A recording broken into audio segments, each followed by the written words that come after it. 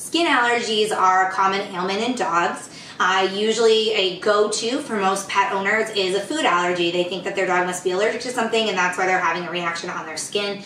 This isn't always the case. In fact, food allergies are a very uh, low possibility of why your dog might be having an allergic reaction. So uh, best thing you can do is take your dog to the vet, have them checked out, make sure that it's not some other underlying health condition. And if it does happen to be uh, a food allergy, then you can look into different recipes and your vet will probably recommend, uh, they should at least recommend different commercial dog food diets and you might be able to have a chat with them about homemade dog food uh, recipes for skin allergies. I'm going to share one of those with you today. If you are considering switching your dog to this recipe, just have a quick chat with your vet to make sure that it's going to be nutritionally balanced for your dog before feeding.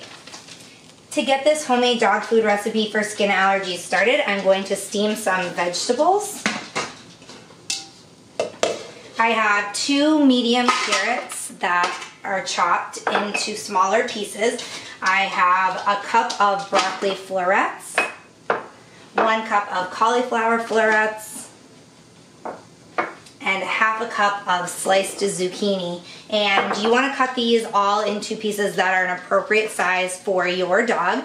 So I'm going to let those steam for about 10 minutes. And while they're steaming, I am going to brown some ground turkey. It is two pounds of ground turkey.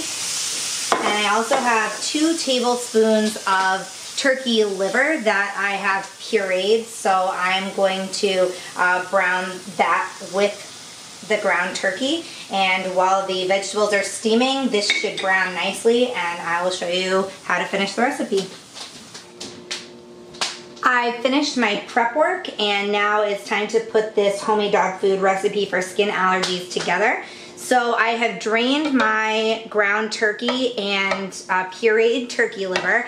And the reason that you wanna drain that is because too much grease can be really hard on a dog's stomach um, and can lead to some digestive upset. So I've drained that and uh, my vegetables are steamed. So I'm gonna add those. And then I'm just gonna add two tablespoons of olive oil and kind of toss this all around together.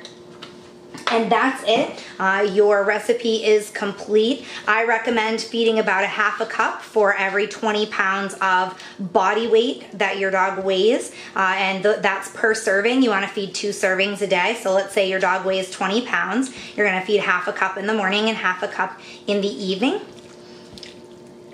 I hope that your dogs enjoyed this recipe as much as mine do.